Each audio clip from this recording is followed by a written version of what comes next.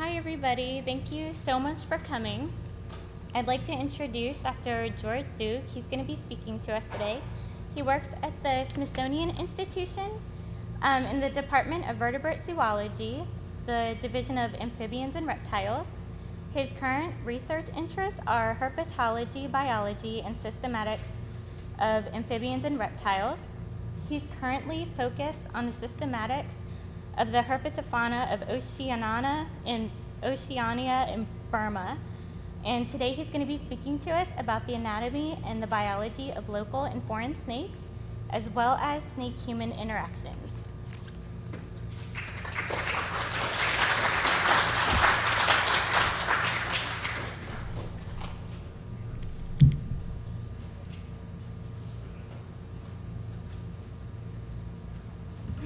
Good afternoon.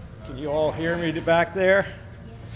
I'll try to keep my voice up, but since I'm probably going to wander around, uh, I want to try to keep the voice up rather than stand strictly at the podium. I also want to make this a fairly informal talk, lecture, or discussion, whichever way you wish to label it. And so I want you to feel free to interrupt me if you have a question, or preferably a question. Sometimes the comments I could do without. Uh, but on that note, sincerely, I would, do not mind answering questions while I'm going. And one of the things that you'll find that while I have a sort of formally prepared talk, I much prefer to simply look down occasionally at my notes to make certain that I haven't forgotten something, but otherwise, we're just simply going to talk about snakes.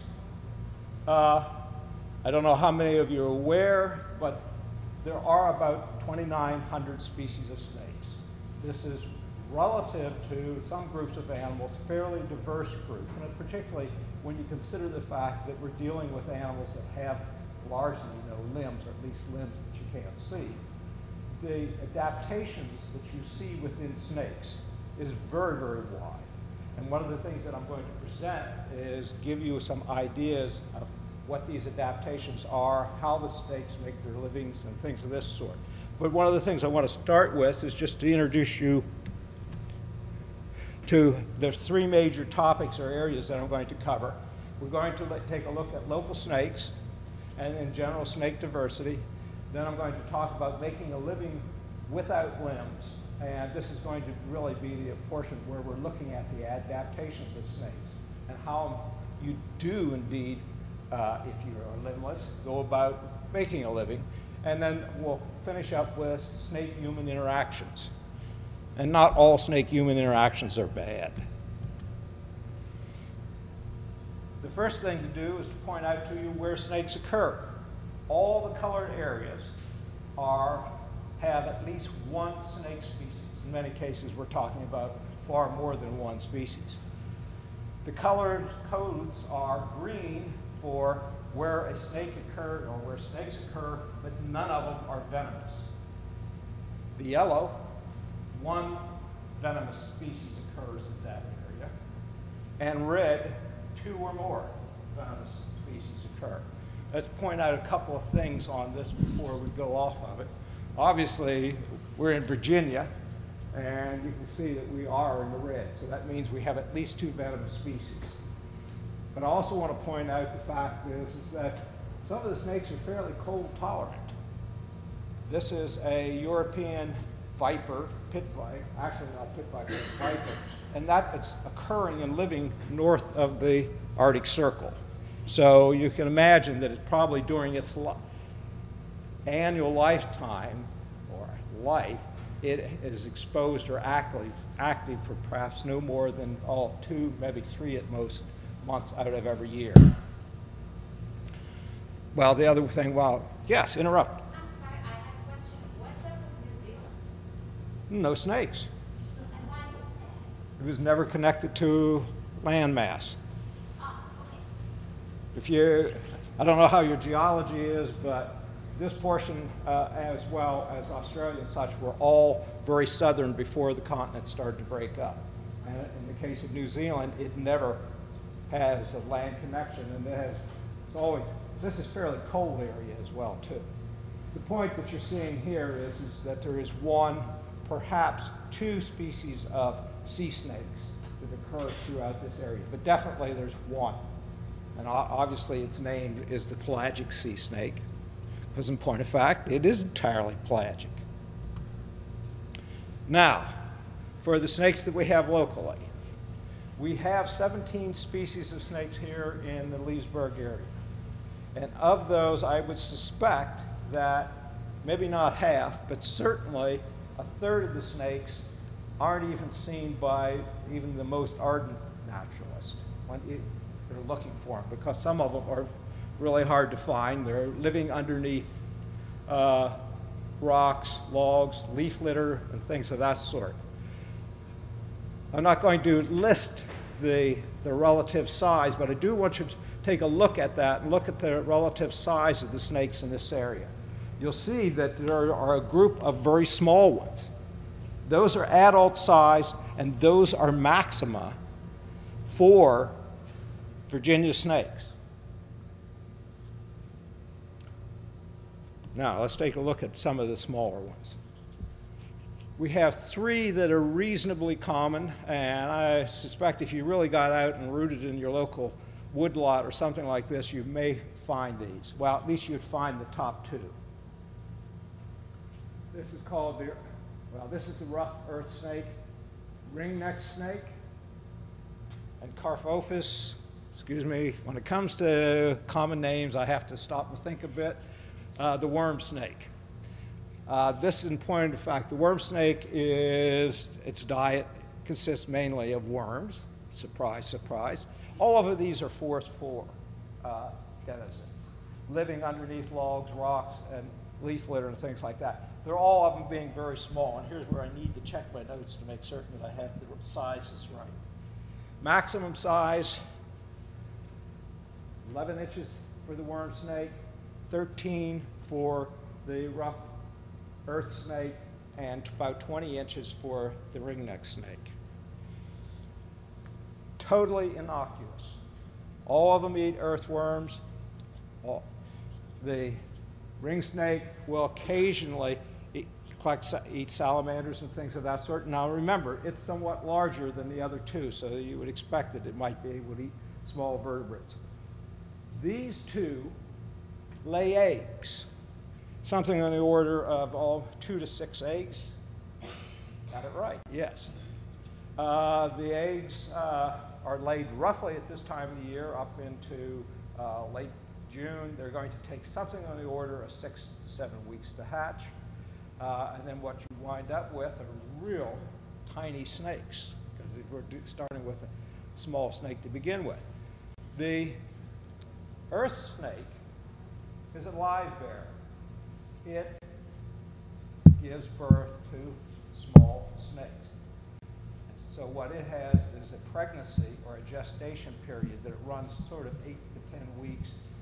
And if they're mating roughly at this time of the year, then they're going to be giving birth sometime in August to early September.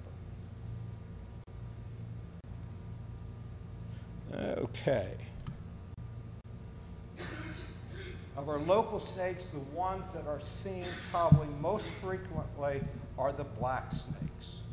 Well, except maybe if you live along a pond or a stream, then the water snake, the northern water snake may be your most common snake. But these are two separate species.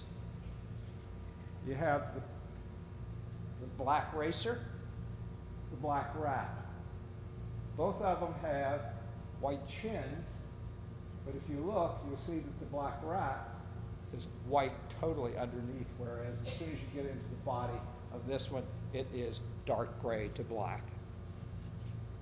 The other thing is, is once you have them in hand, if you're so inclined, that is in hand, not dead, but alive, you would look at the body shape of this one, and you would see that it is actually round, which is fairly common for snakes. In contrast, for the rat snakes, if you were to look at it and cross section and such, it would look like a slice of bread. The bottom of it is very, very flat.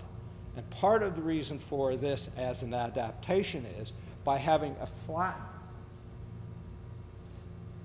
belly or venter, what it does is it gives the scales where the body comes down sort of an edge. And the advantage of this edge is, is that of all our snakes locally, this is one of our best climbers. And it really can climb very, very rapidly. Uh, obviously, to the detriment of birds in the nest and things of that sort, because both of them eat birds and small mammals. But this, at this time of the year, which a bit early, would be a, certainly a specialist on the birds. Uh, the thing about the black racer is, is that it has a wider or more catholic diet, and it will eat things like uh, cicadids and grasshoppers and earthworms and things of that sort. But both of them are principally uh, mammal eaters and, and in this case, add birds to that list. They're uh, also our biggest snakes. It's not uncommon to see them going through your backyard and see a snake that is four feet, five feet long. Now, my favorite of the local snakes is the hognose snake. These are all the same species. These are all hognose snakes. They are number of reasons that they're hognose. I don't know if you can see it on the slide, but in this one perhaps, you can see that the snout is sort of shovel shaped. Part of that shovel shape is because it is a burrower. More often than not, you're going to find it in areas where the soil is fairly soft. One of the things about the hognose snakes are is that they are really, how do I want to put this? Bluffers, great bluffers, because the point is, is that, and also it gets them killed, but the thing is, is to protect them from their natural predators, which would be birds and mammals, is, is that they put on an incredible show when they're disturbed. And you see this one here doing it, and certainly it does not look as though it's a innocuous snake, but it certainly is.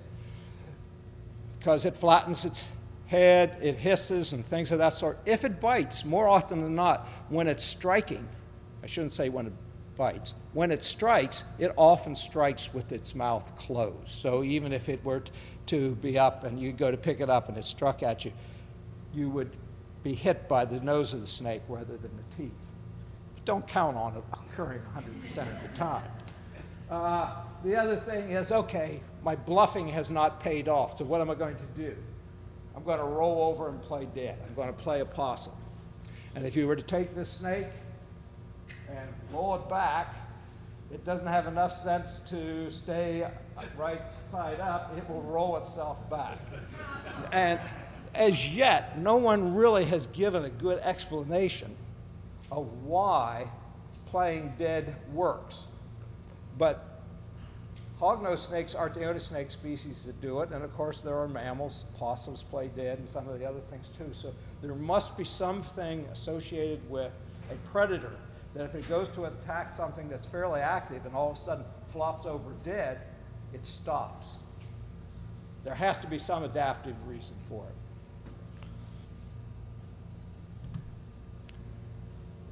Now we have two other local snakes both of them, well, this is the northern banded water snake, the northern water snake, and this is our local garter snake. Both of these are related to one another, although not particularly closely, in the fact that we're talking about millions of years of separation, but nonetheless, they're still related to one another in the same family. The water snake is aptly named in that you are very seldom going to find it uh, somewhere outside of along a stream or pond or things of this sort. And while you're going to find the garter snake in moist areas and things of that sort, you also find them in your backyard, grassy areas, things of that nature as well. Both of them tend to eat amphibians, principally frogs or toads. And of course, in the water snake, we're dealing uh, also with eating fish. Both of them also are live bearers in the sense that they give. Once again, they get pregnant, they have fetus in them. The interesting thing here is, is that for this group, the Natricine snakes, the fetuses actually have placenta, and the placenta are mammal-style placenta. So there is indeed within, actually within snakes and, and some of the lizards, you have, I think there's close to a half a dozen different sorts of placenta that have been developed. And some of them, and these are independently within different snake lines, and of course, they're independent from mammals. But in many cases, because embryologically you only have a limited number of structures to deal with, you have some species, such as the natricines, that have a placenta that is developed from the same embryonic structures. Yes, ma'am. Is there a correlation between uh, uh, embryonic rather than egg laying and um, and whether or not the snake's a constrictor or a or or, or, or non-constrictor? What- uh, The reason I stopped and thought I was going to say, well, I still think I can say, and, you know, in biology, you never say anything is always or ever. Uh, most of your constrictors, at least in the colubrid snakes, Yeah. are egg layers, thinking about it. Uh, that's a family of snakes. Uh, yes. uh, versus boas and pythons. Now, remember, most of the pythons are egg layers. They are, they're constrictors, but boas are all give, have uh, live bears, and of course, they are very, very good constrictors. So the, there may be something there, at least in some of the groups, but I don't know if it holds. Uh, just to give you an idea, one of the advantages of carrying uh, embryos is, is that many of the things that carry embryos have incredibly large clutches. Because I think in both the garter snake and the water snake, there are clutches up to 55 embryos within there. So, I mean, you, it's not that you can't lay that many eggs, but apparently carrying the fetuses around, you can carry more. And it's certainly true of some of the smaller snakes, th- these smaller species. The ones that have the, that get pregnant tend to have more fetuses than those that lay eggs. Once again, not 100%, but something on that side.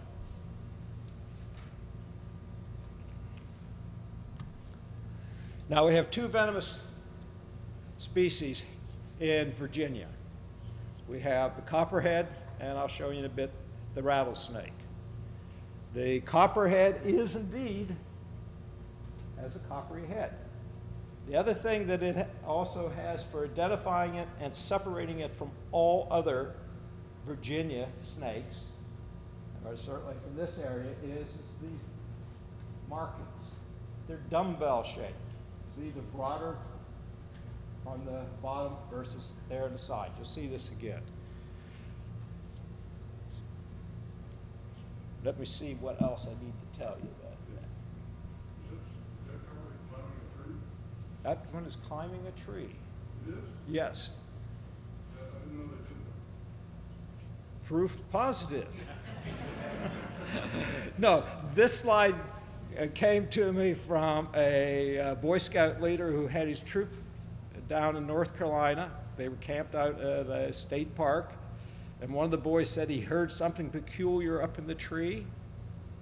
And he got out his camera and the light, and they watched it. And I have another picture where it's higher up. So the point of fact, yeah.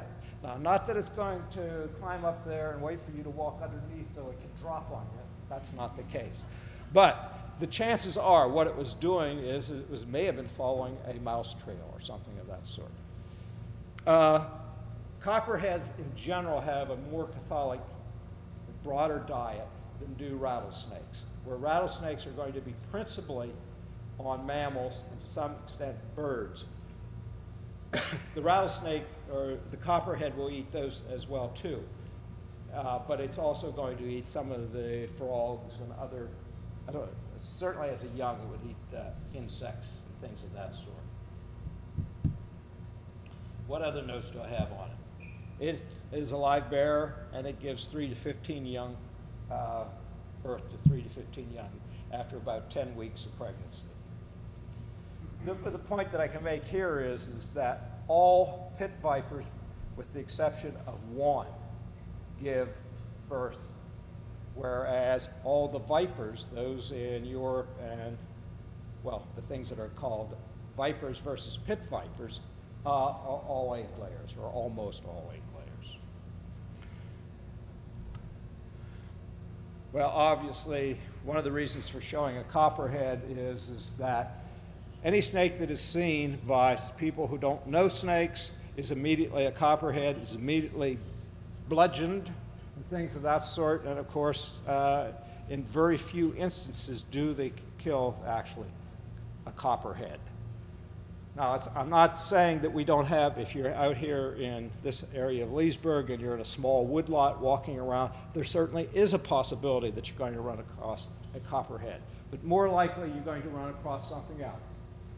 One of the hognose snakes, a corn snake. And in this case, this is a young black, have to look at young black uh, racer. But the black rat snake also is, has a pattern as a juvenile as well too. Just that re-emphasize, look at the spots. And you don't have to get up close to see that they're dumbbell shaped. You don't have to get your nose to nose to see whether it has a pit on the side of its face or something of that sort. Yeah. Do you have records of recent uh, finds of corn snakes in this area? I don't, but that, I mean, it- this is not an area that, well, I live here and have done some things on the snakes here. Yeah, I, you'd have to ask, we have within Virginia a very good uh, herpetological society. It's the Virginia Herpetological Society.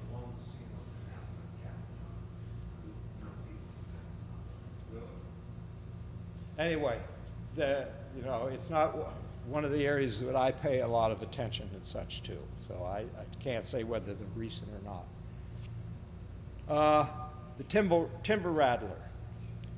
This is a species that if you get a little bit further west from here, or a little bit further south in the sense of Bull Run Mountain, there's a population. Uh, you were talking about Sugarloaf, was it, in Maryland, where we have some isolated populations. The timber rattler is a Appalachian mountain snake until you get further south, and then its distribution spreads eastward to the coastal plains, and there it's called the canebrake. They're all the same species. This is an endangered species. It's an endangered species because it has an incredibly slow reproductive rate. Females get pregnant about every three or four years.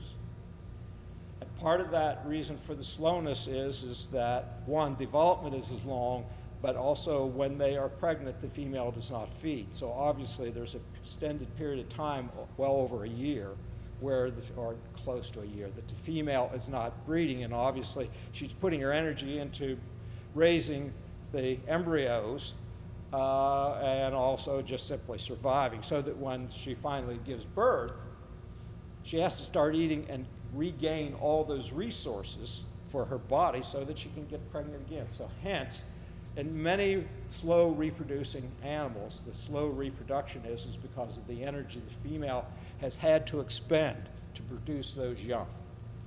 Now, the question, of course, is, is I said endangered, and I suspect some of you go, so what? It's a venomous snake. What do we care whether or not uh, it goes extinct? Well, from my perspective, obviously, there is the moral perspective in that every species has a right to life. So you have that side. But there's also, as far as humans are concerned, a very much an economical side to keeping all species of snakes alive, and particularly keeping things like uh, rattlesnakes and copperheads and black rat snakes alive. They eat rodents, they eat mice. Okay, so you live in a house, why do you care about uh, a snake out in the woods eating mice or something of that sort? Well, from one perspective is, is obviously you don't want to have, well, let's just call it the economy of nature. You want to try to keep it balanced. So you want to keep the mouse population low, to get rid of snakes and other predators such as hawks and things like that. Mouse populations get higher. Okay? So what do you care about a mouse population being high out in the woods? Well, I suspect most of you here enjoy going out for weekend walks and things in the woods. When you do that, are you concerned about Lyme's disease? Well, the point is that mice in many populations, about 90% of the mice are infected with the Lyme bacteria, much more so than the deer. So it is the mice that are actually spreading the Lyme disease or maintaining its population level. So hence, there is a reason for, quotes, supporting the economy in nature, not knocking off all the uh, predators and things of that sort. Another question before? Is there, is there, are there any reported fatalities, uh, by question before.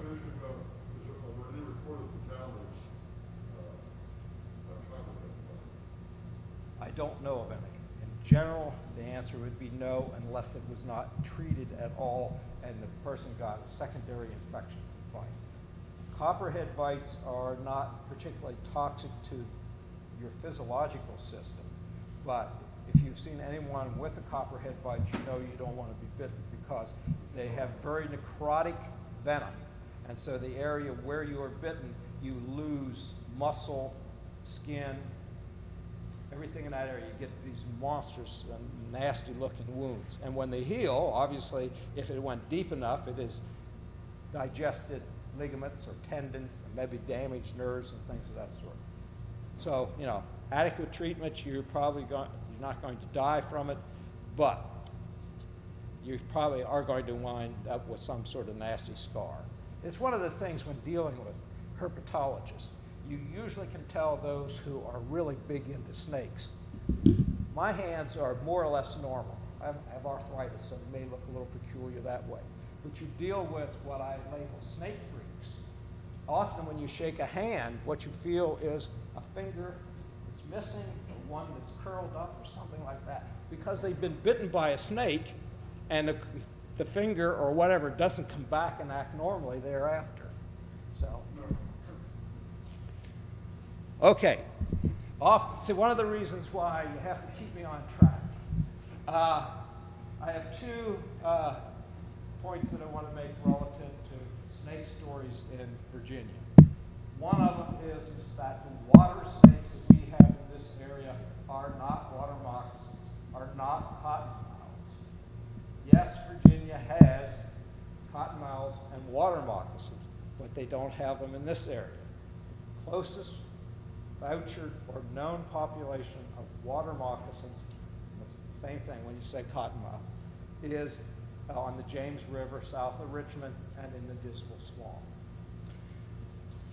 We have this guy. This is the water snake I showed you previously. He is big. When he gets mad, his head flattens. When you disturb him too much, he strikes. And he doesn't strike with a closed mouth, he strikes with his mouth open.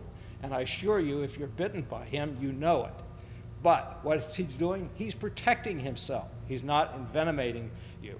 If he rears back and you see the white inside his mouth, yeah, snake mouths are white inside. So that doesn't make him a cottonmouth. Not here.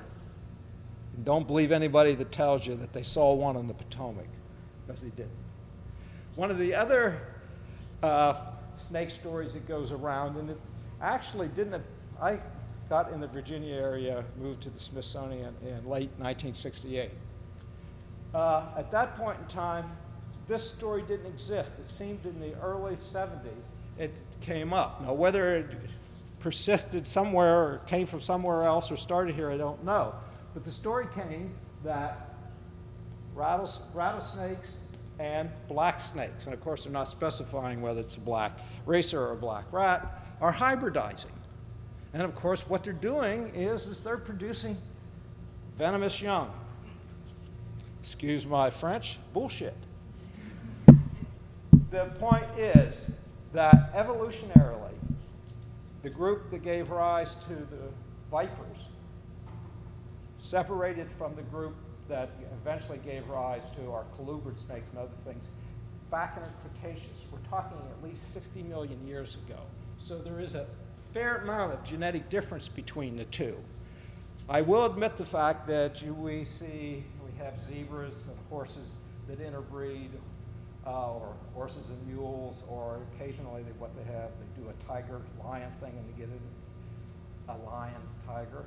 But the point is, you should never see a lion breed with a horse producing, say, a carnivorous mule or a lion with hooves Well, they are genetically more similar to one another, the lion and the horse, than are the rattlesnakes and the black snakes and things. So, once again, here's a myth that is really a stretch of the imagination. Another question. Oh, yeah, no, they, they do, a- in some places, rattlesnakes and black snakes. Well, I don't honestly, I, I, that I don't know. That- People thought that it helped guide copperheads and rattlesnakes into their dens. Well, my guess is, is I suspect that rattlesnakes and copperheads, quotes, had enough sense to find the, the dens without the other ones. Now, I'm really running on. I, as you see, I can get to be uh, very much of a motor mouth, so feel free if you've had enough of me to get up and leave. I'm not going to shut up for a while. Let's take the first portion dealing with snake adaptations and let's look at the question what makes a snake a snake? First off, the legless lizard you see there is a lizard lizard. It is not a snake. If you were close enough, and, or this was clear enough, you'd see it had an eyelid. But these are a whole series of characteristics that will tell you when you have a lizard and when you have a snake in hand. No eyelids, no external ear openings, rudimentary or no limbs, because remember now, in uh, pythons and or in boids, they have what's called a spur back close to the vent, and that is actually a rudimentary hind limb. Uh, generally, most snakes that you're familiar with will have flexible upper and lower jaws. Almost all snakes, that, once again, that you are familiar with will have very large belly scales, and all the snakes you're familiar with usually or do have keratinized fork tongue tips. So anything that we have in this area, if you use that list, you can easily tell that it's a lizard or a snake. Yes, ma'am. What does keratinized mean? Keratinized is your fingernails, toenails, hooves, and things like that. Yeah, it's keratin. Excuse me. Now, let's take a look at if we're making a living without limbs. And we're going to take a look at senses, locomotion, prey capture, and eating.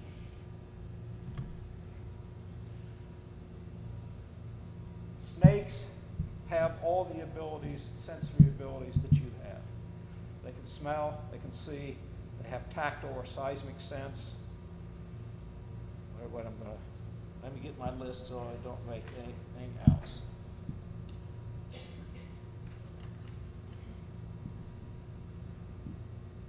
If I didn't say hearing, they do hear, and that's an important thing. And the other one, the special sense they have, but not all of them, is a NIF being able to see by infrared vision. We'll get to that in a little bit later. This snake, this is a cane brake, and what it has done, and this is a natural posture, it has located the fact that there is a mouse trail on here, there. It's located that mouse trail by the fact that it smelled the mouse trail. Now it is actually waiting in ambush for a mouse to come running along this. And it will know that the mouse is coming because it has its chin on the log, so it will feel the vibration. So it has this tactile seismic sense that it's going to do. It is a rattlesnake, which means that it has two types of vision. It has standard light vision, like you or my eye, but it also has its pit, its infrared vision for the pit thing. So it's going to see the mouse as the mouse is coming towards it. And in both cases, the eyes, the normal light vision and the infrared vision are binocular.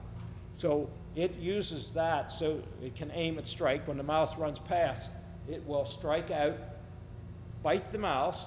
When it, its mouth goes over the, when the snake's mouth goes over the mouse, it will have the tactile vision knowing that it's where it's supposed to be, at which point it will inject venom and retract and then rest while the mouse goes staggering off. It will not follow that, in most cases, it won't follow the mouse immediately. And it will wait for the venom to begin to take effect. Then it will start to track the mouse, and it will track the mouse by smell. but it does, uses the tongue, and we're going to get to that in a moment. Okay, vision. They do have good eyes. They do see. They have principally rods in their eye. I don't know how many of you have. Within an eye, you have sensory receptors that are called rods and cones. Rods are ones that are responsible for black and white vision, and they are also able to pick up light at low intensity, so they're quite useful at night. But apparently, they don't give you a very fine vision. Cones give you sharper resolution.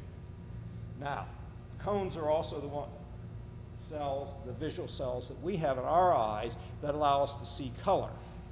But to see color, you need different visual pigments in each cone. Well, the thing is, the cones within a snake's eye all have the same visual pigment, so the likelihood of them seeing color is slight.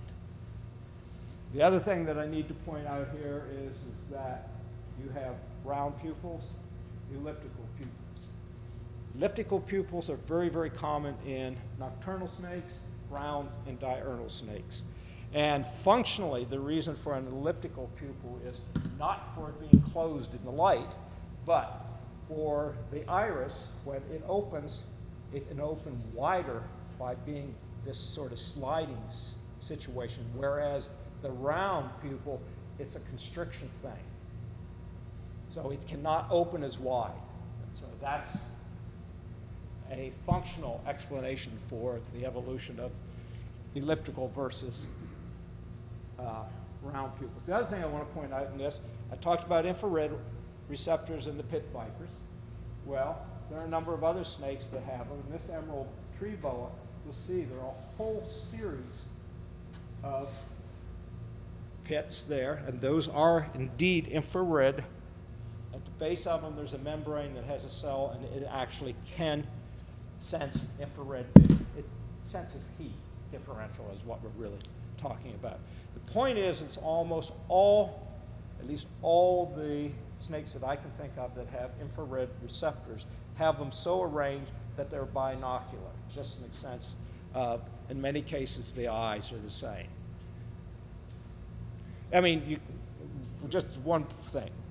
If you look at a snake or something like that, or look at any animal, if you look at it from head on and you can see both eyes, just remember that snake has de- or animal has depth perception because if you can see both eyes, it can see straight for- forward, and so it has overlapping visual fields. And if you have an overlapping visual field, you wind up with depth perception, binocular vision. Your question. Uh, I was under the impression at some time that the round pupil indicated generally a non-venomous. No. and No, okay, that's, a- that's good to know. No, I mean, it works here, but don't count on it if you go to Costa Rica or somewhere else. All right, The other thing, let's just briefly talk about the tongue. I talked about a keratinized tongue. Well, when you look at the snake tongue, you see it's black. Well, it's black because of the keratinization, uh, which means it has a very hard, smooth surface, which also indicates that it doesn't have any taste buds. Well, point of fact, very few, if any, snakes have taste buds. They have lost them. Now, Snakes use their tongue to smell, but they don't smell with their tongue. Now, let me make my point here. Snake tongue is forked. You see it going in and out. And what it's doing is when it comes out, it picks up sensory, let's call them odor particles. And it brings those particles back and it touches them to the roof of the mouth. And there they are moved into a special outpocketing of the standard olfactory tissue, what thing is called the vomeronasal organ.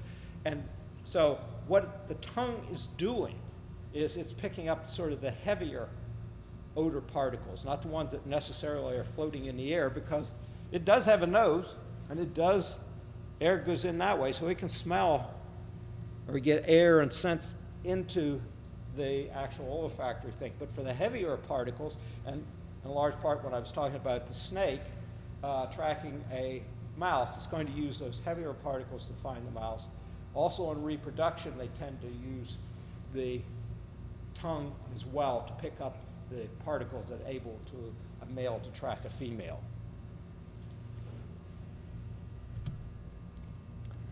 Locomotion. This is a little bit tougher to explain from just verbally as such.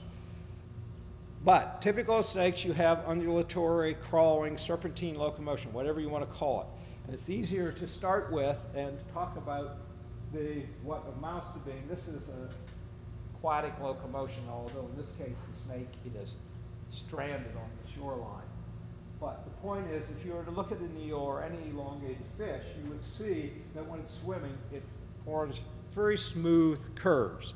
It forms smooth curves because alternately there are muscle contractions on the body that move down. And so this wave, if you were to watch, you would see that this sort of would flatten out. The, the whole thing is that when it's swimming, the curves, the outside of these curves, the whole thing, are pushing against the water that propel it forward. Now, in terrestrial locomotion, you never see, or you very seldom see, a snake crawling across a road or on a, a trail or something in which it is this shape. It may have some curves in it, but more often than not, it just has irregular curves. The thing is that here there is no wave of muscular contraction moving back across the body. The other thing is that in a snake crawling on the ground and such, every point of that snake is going to cross there. In other words, it's like a locomotive pulling a, a string of cars. They all follow the same path. So, this piece of the tail is eventually going to pass right in there. In other words, as the snake crawls, these little curves, the tail tip will follow that same path. Now, why is that occurring? Because in a terrestrial locomotion, you only have pushing from the certain or limited number of contact points. And using this as an example, if this were terrestrial, the snake would be pushing from just this area, outside of the curve, there, there, there, and perhaps there. And if this were terrestrial, that entire body would pass through in that same curve. Now, I don't know whether this will make it a bit clearer or not. Sidewinders are, in point of fact, following the same basic undulatory locomotion. If you look, you can see that they have this sort of cleft-shaped ridge where they touched. And what's thrown up is the sand on the outside of the curve where the body was pushing against. So that this is beginning to start here. Well, the head, let me just back up. There usually are only two points of contact. This snake actually, no, it only has two because you see the head's lifted up, body is in contact right there because it's beginning to create this ridge, and it has pushing off where its tail's at. So what the snake largely is doing, it's holding a major portion of its body up, touching it down two places, and it always has to have it on two places. Sometimes it can be three. But it's only pushing here on the outer edge. And that's true of just regular locomotion as well, too. In arboreal locomotion, you can have the same sort of crawling. If there's lots of branches and surfaces and such that the snake can touch and rest on, it can push from those and move almost at the same speed as if it were on the ground. The picture I'm showing you here is where there are few contact points. And so what this snake is going to do is it's on one, it's going to stretch across to another one, sort of lay its head on that stick or limb, whatever there, and then slowly draw the rest of the body across so that it's on that surface. Under these circumstances, the snake can keep sort of a steady forward locomotion, but it's very small or very slow. Whereas if there were lots of branches and such, it could move at almost the same speed as it could on the ground. The point is, is if you have no limbs, how do you catch something? You bite it.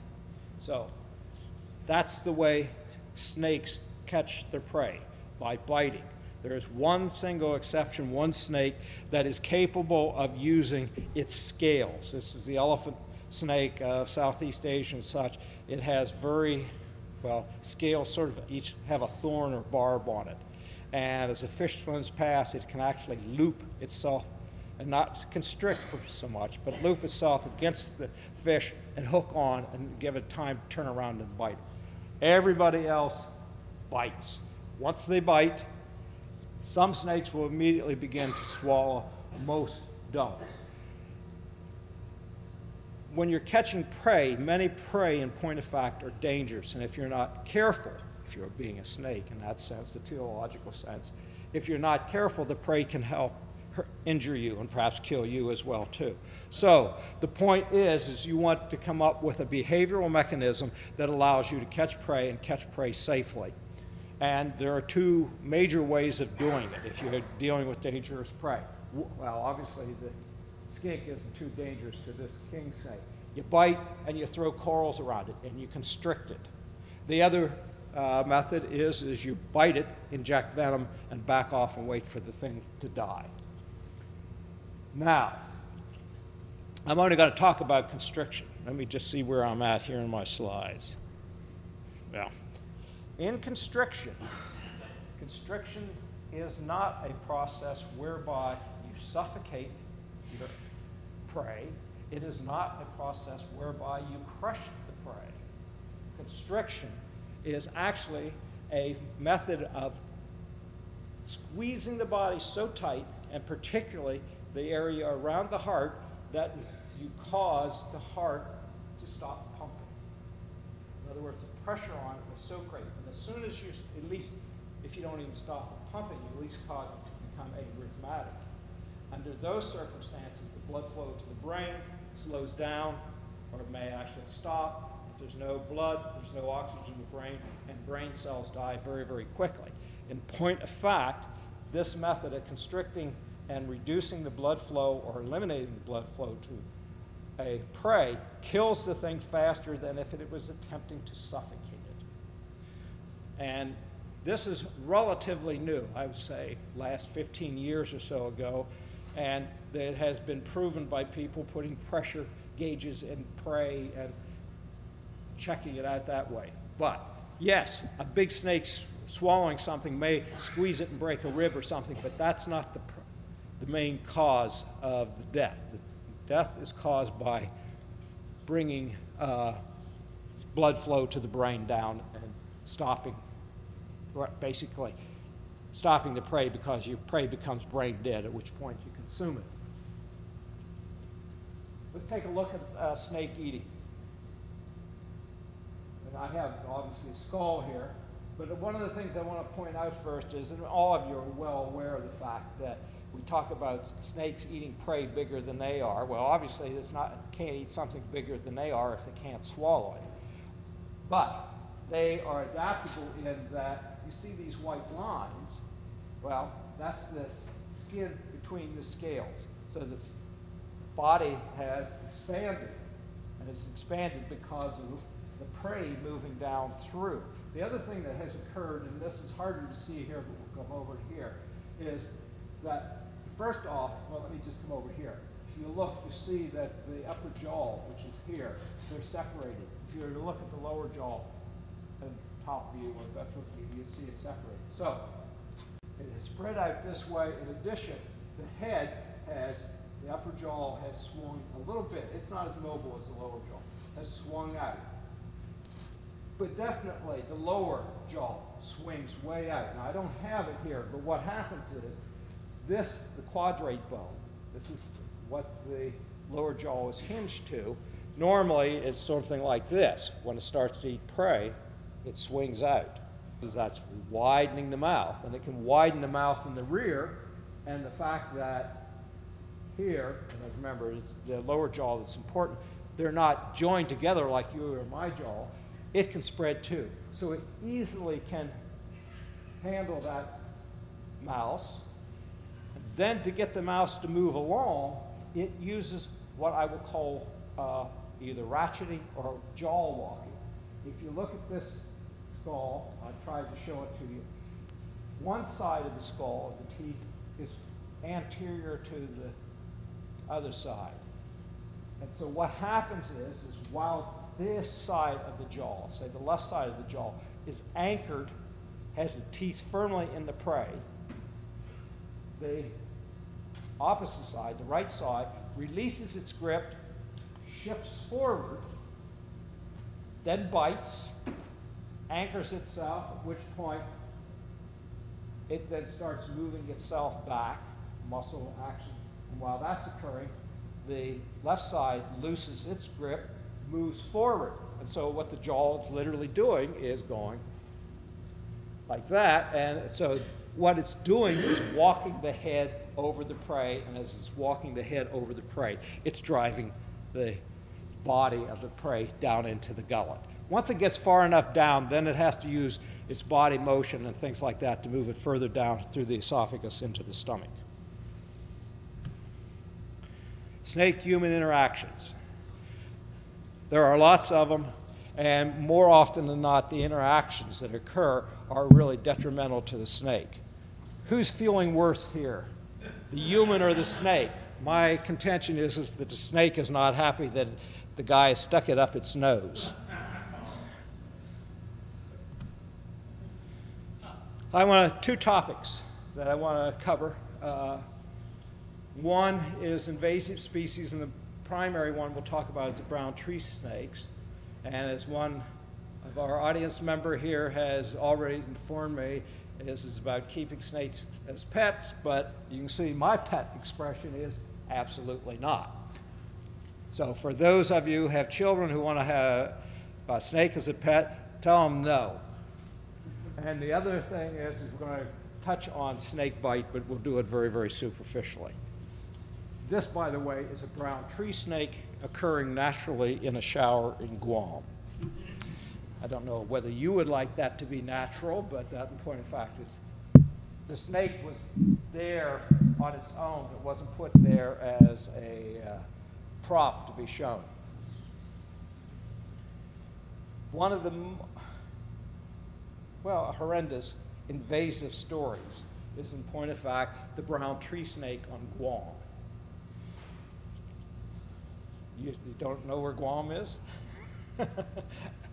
Sometime, probably immediately after the Second World War, when the U.S. military was moving its supplies from New Guinea and probably from the Admiralty Islands, it packed up among its bulldozers and other sorts of military things a couple of brown tree snakes. And it moved all its supplies to Guam. And for years, in fact, it wasn't until the mid 50s that we actually got a record of a specimen of brown tree snake in Guam. So we knew that it was there, but it wasn't in large numbers. In the mid 60s, then they started to become more common. And one of the things that people started to notice by the late 70s and early 80s, there were almost no birds. Because the brown tree snake, as an adult, its principal prey is birds. It eats uh, lizards and geckos and things like that. And point of fact, the brown tree snake has largely eliminated the birds from Guam. I mean, there have been major efforts. Our Conservation Research Center has a program going where it's raising Guam rails to release not back on Guam because they haven't gotten rid of the uh, brown tree snakes. Brown tree snakes are a real problem. Now, they're an economical problem in the sense that they eat people's chicken, they occasionally bite, they are mildly venomous, so there are those sorts of problems. But the major problem, the things that brought the real attention to this and also brought the money to fund herpetologists doing research is, is these are big snakes. The, naturally, they're in New Guinea, they occur maybe up to seven, seven and a half feet. Early on in Guam, because it had no predators and plenty of food, they were reaching 10 feet. Now, imagine, because they are tree snakes, that they like to climb up electric power structures. You get up to the top of the structure and you want to go somewhere, so you're on one light line, electric line, and you stretch across to another. You create a short. The process being you, you're a fried snake, but at the same time, what you've done is you've knocked the power out. Well, the military happens to have, or Guam happens to be a major military base and monitoring what's all going on in the Pacific, but when your power's out and all your detection equipment goes down, becomes a serious problem. Hence, they started putting money in to find out what you could do about snakes. Well, we haven't gotten rid of them yet, but you can in certain areas build snake-proof fences. So, I mean, gives you an idea. This is uh, something on the order of probably 10 feet high. You're keeping it reasonably well mowed. It's relatively straight. The fencing up in this area won't allow a standard sized snake through, but more importantly, it has an overhang. And so even if the snake's coming up and trying to crawl, it can't get enough leverage, and so once it gets up here, it falls off. The point is, is the brown tree snake is still a major pest, and there is great concern that it will be moved out of Guam into other areas. And the problem is, is that Guam is a major military supply depot and shipping point, as well it has also become a major public or business uh, center for shipping throughout the Pacific. And so what's happening now is, is that all cargo coming out of Guam has to be fumigated to kill the brown tree snake. And what has driven this more than anything else is, is that there is concern that the brown tree snake will get to Hawaii. And so obviously Hawaiians don't want brown tree snakes. And they don't want brown tree snakes because they're snakes, but because they will cause a major economic catastrophe. In fact, the USDA has recently estimated that at a minimum, if the brown tree snake becomes established in Hawaii, that there will be $100 million spent every year.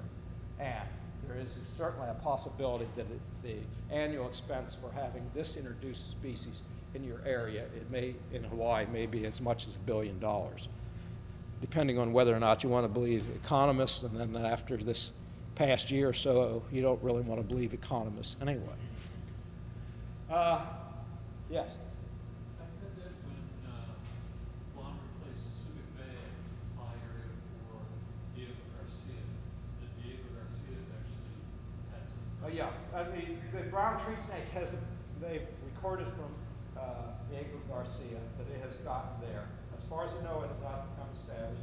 They have gotten in Hawaii at the various, at Pearl Harbor and some of these other areas. And I would not be surprised if there is a resident, a resident population on Oahu. And the only way it's going to really be is, is to get high enough so that people start seeing what's there. Uh, just an aside relative to uh, invasive species. Hawaii, before humans arrived, there were no amphibians or reptiles there. There are now 35 species of amphibians and reptiles in Hawaii. And brown tree snake is one that they don't want. They have the Puerto Rican uh, coqui, which is a little frog, but its numbers are so high that it keeps people awake, so they don't like it either. You got a question about it? Yeah, what the natural predator for the brown tree snake be?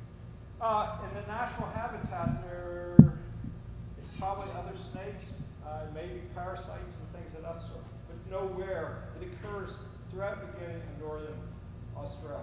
And it's not an uncommon snake, but it's not an overly common snake. So it's likely other snakes, and because neither of those areas have major uh, mammalian predators. Birds are a possibility, uh, hawks and things. Let me go to a more recent uh, invasion, an invasion that's occurring here in the States. I don't know, many of you may have seen this picture. It is a Burmese python that exploded, and that happens to be a alligator that it has swallowed. They, National Geographic, this I took from the web. Uh, and this, so this picture has been widely circulated. Some of you may have seen it. In point of fact, National Geographic uh, did a very nice special on what happened to that particular thing. And I'll allow you to look it up in National Geographic. They did a very nice storyline on it. Uh, how serious is the risk? Well, one of my colleagues uh, out in Colorado, associated with invasive species, particularly with uh, the brown tree snake, has pointed out in a recent article where they did some modeling using climatic factors versus tolerance of the Burmese python, is, is that we could have Burmese python up here, or at least a little bit further south predictive, not that it is going to occur, but modeling that's a possibility. It's not an unattractive snake, but it does get to be a big one. The other thing that it does, anyone like to take a guess where that Burmese python was found? How about Iowa? Well, not that it naturally occurred there, but that's how Burmese pythons have gotten established in the glades. People having Burmese pythons, buying them as small two, three foot snakes, thinking they're pretty neat. Now they're getting up to six, seven feet. They're getting to be expensive to feed them all that little, many dead rats or little peepees or something of that. So they release them. The other thing that has been suggested is, is that in addition to people releasing them in the canals, that Hurricane Andrew, when it went through uh, southern Miami and the Homestead area, it basically flattened a lot of houses and released a lot of Burmese pythons and others. And of course, the Burmese python has been successful enough to begin breeding, and so that it's become established that way. But to give you an idea, in southern Florida, there are 65 species of non native amphibians and reptiles. Most of them, if not exclusively, but let's say most of them come from people thinking it would be neat to have this lizard or this frog or this snake in their natural habitat. And not also the point of entry, the Cuban tree frog that's taking over. Well, the, yeah, and, but in that case, I suspect the Cuban tree frog was one that got to Florida in much the same way that the brown tree snake did, in cargo and plants and things of that sort. And then there are those, but a lot of the things like the Cu- Cuban uh, knight anole, I don't know if you're familiar with that, it's a great big anole that you can see when that was intentionally released. Anyway, the point of invasive species is, is that they are expensive. They are expensive to you and me because for their control, we pay, wind up, our tax dollars go for that. So it's, you know, it's not a cute thing to do. The interesting thing, well, the uh, Cuban tree frog has, in some areas, displaces the native frogs, and point of fact, is big enough that it eats them. So it, that occurs, and uh, certainly the uh, Cuban sagrei anole has, uh, throughout much of Miami and such, uh, displaced uh, the native North American green anole. And, okay, another aside, sorry. Uh, I pointed out that in Hawaii, you wind up and you're having 30 some odd species of amphibians and reptiles when there were none there. About 10 years ago, when my wife and I were visiting and working at the Bishop Museum in Honolulu, the common lizard around the museum there was the North American anole from the east coast that had been imported into uh, Hawaii and had become well established. And in point of fact, it is reasonably well established uh, throughout the, all the Hawaiian Islands. This year, when we were back working at the museum, no American anoles. The Cuban anole, the sagrei, is now there because it's displaced the native, as just as it has displaced the native North American anole in southern Florida. Sorry. Let's talk about snake bite. First one thing I want to point out, we're dealing with snakes, we're dealing with venomous snakes, not poisonous. Just a quick definition of this, venom, bees, scorpions, snakes, things that inject their toxins are venomous. In other words, they're injecting a venom. That's the way the toxicologists use it. If you brush up against poison ivy or you consume uh, Clorox or something like that, you are poisoned. They are poisonous. So it's the difference, and it's a difference that actually is relatively recent when the toxicologists decided that they needed to differentiate between these things in the 1970s. Uh, just quickly, uh, venoms are a cocktail of all sorts of products, some of them toxins, but many of them are just normal body materials, compounds, and things like that. But in overdose, they wind up causing difficulties with normal physiological processes. Venoms are an adaptation, and in most cases, depending on what the snake is feeding on, the venom has been selected, has evolved within this group of snakes for specific prey. Hence, some of the reasons why we are not bothered by certain of the venomous snakes when they bite is because they are used to preying on, say, insects or maybe frogs or something like that, and not to a warm-blooded prey. Just quickly, if you're dealing with snake bites, we no longer cut and suck. You, what you do is you get the individual to a medical treatment and have doctors working there take care of it, but make certain also that when you get it to medical facility that you have that doctor call a poison control center so that they are talking to somebody who knows how to treat venomous snakes. You don't want a doctor who may have never seen a venomous snake bite treating you without talking to a specialist with somebody that has, because you don't just strictly inject antivenom into somebody. Now, conclude here with the number of snake bites.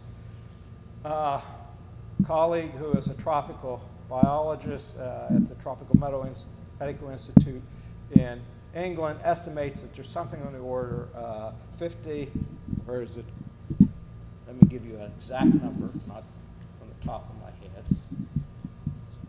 Can't remember whether it's 50 or 500,000, 50,000 snake bite deaths a year in the world. It seems to me that that's a little high, but the whole point is, is there's lots of areas in Africa, Asia, South America, Central America where snake bites are not reported. So that's indeed a possibility. Within the United States, statistics aren't all that easy. But the whole point is, is here is a nearly a 20-year period, and there are only 97 reported snake bites in the United States. Some of you have already started reading that, and I'm not going to read it to you, but I'll allow you to draw your conclusion from what it says there. That it was anticipated by an artist in the Washington Post three, four years before this was published. I think this came out in 99. This is in 2004. I just love that cartoon. It's, to my mind, it's the Bubba factor.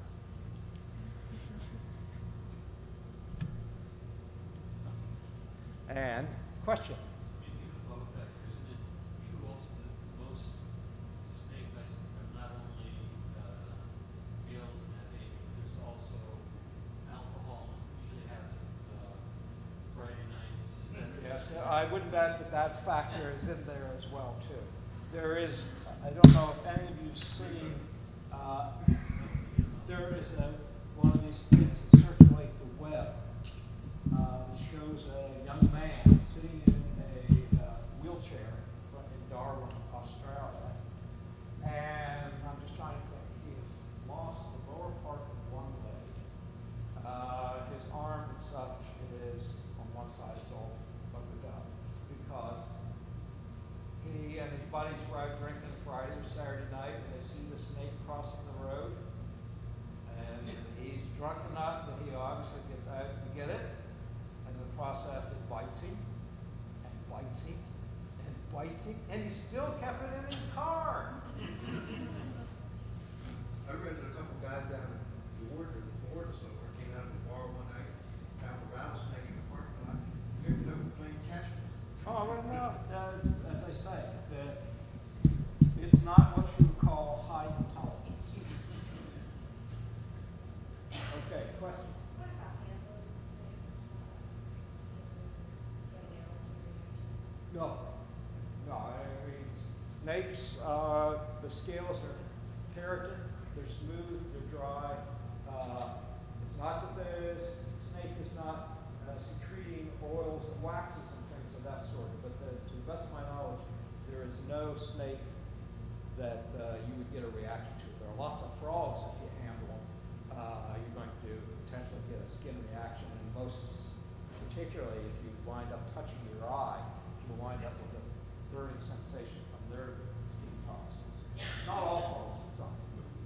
Of snakes secrete an offensive uh, fluid as a supplemental, and it could be difficult to cope with. Well, yeah, but I mean, having been uh, gland or, it's a combination of feces and they have anal glands in the same area. And if you pick up a water snake, not only is it going to bite you, and if you're holding it tight enough, what it's also going to do is throw its tail around, and as soon as it gets itself around, it's going to just shower you with this very, very offensive smell. Well, obviously, that if you happen to be a, a fox and have a snake in your mouth and it starts wrapping around your head and at the same time throwing this stuff in your face, what are you going to do? Likely you're going to leave go. And so it is strict, a defensive measure. Any others? Question? No, go ahead.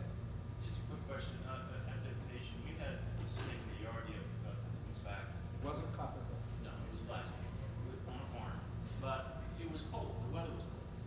And it was out, and is it not true that when it gets pretty chilly, that snakes typically don't come out, they hibernate in the cold? But I noticed on this snake, it was embedded in the grass, we thought it was, it had been hit by the mower or something, but it was actually alive, but I noticed its, its head, it finally raised its head up after a while, and its eyes were, were bluish. What was, what was that all about?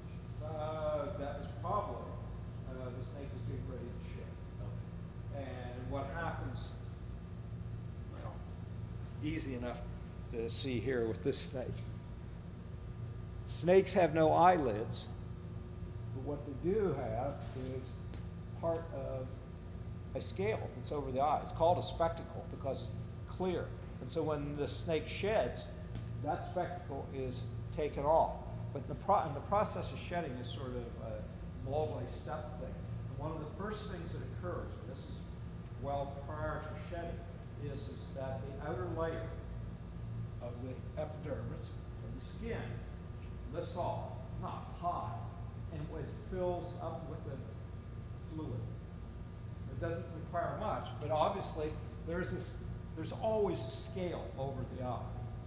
And when it's getting ready to shed, the entire skin becomes loose. That solution, fluids underneath, obviously it's between the old spectacle and the new one.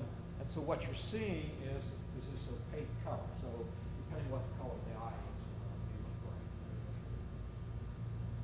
And then what happens is that disappears and shortly after that, then the skin dries sufficiently enough so that it can break, fall out of the skin. Uh, you? The uh, picture you had earlier of the rattlesnake that was along the wall,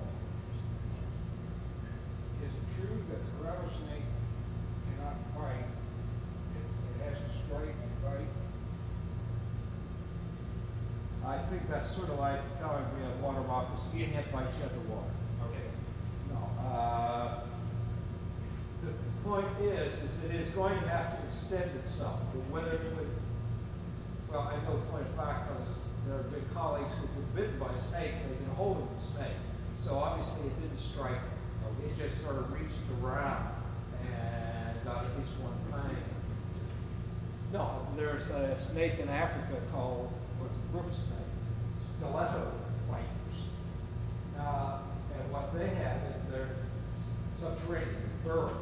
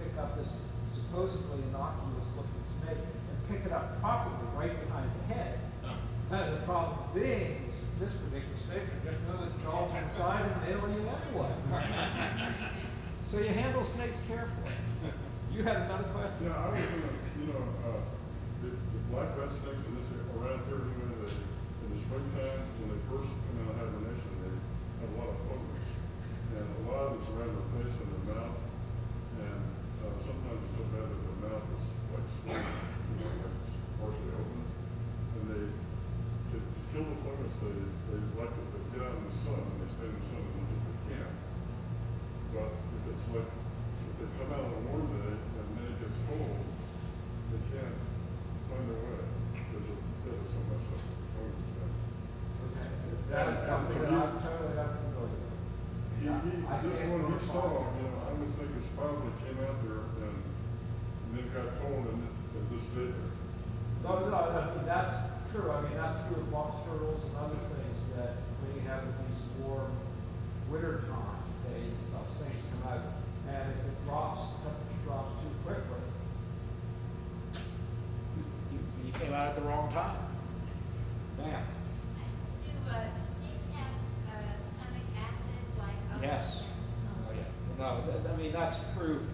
down through fishes and things of that sort. There, there has to be acids, enzymes that help right. digest it.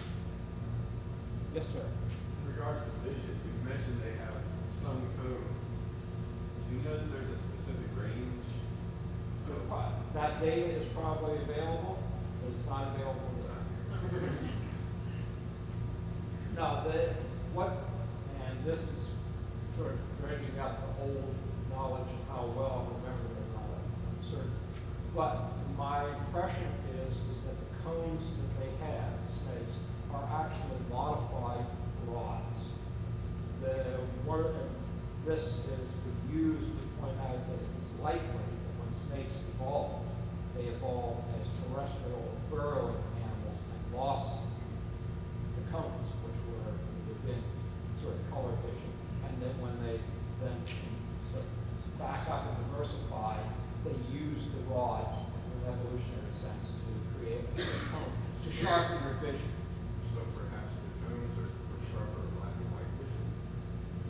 sharper vision, yes.